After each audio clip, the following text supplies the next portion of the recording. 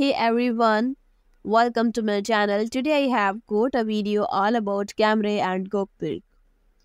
If you enjoy what you see, I would really appreciate it if you could hit that like button and subscribe to my channel. You can also show your support by clicking the join button below.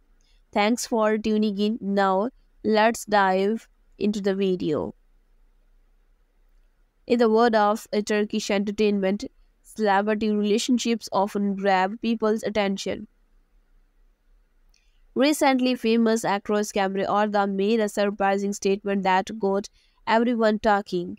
Known for her amazing performance on screen, Cemre raised eyebrows by saying that her former co-star Gökberk Yıldırım is more handsome than my husband, revealing her admiration for him. This unexpected confession came during a recent interview where Cemre talked about her past work and personal life. Her comment about Gökberk's looks got fans and the media speculating about their relationship and what it could mean. Cemre's statement has reignited interest in her on-screen chemistry with Gökberk, with whom she starred in the popular TV series Winds of Love.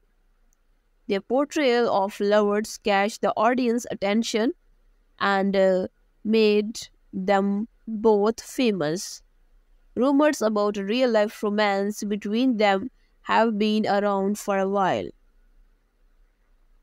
While Cemre's declaration might have surprised some people, it's not uncommon about um, co-stars to admire each other in the entertainment industry.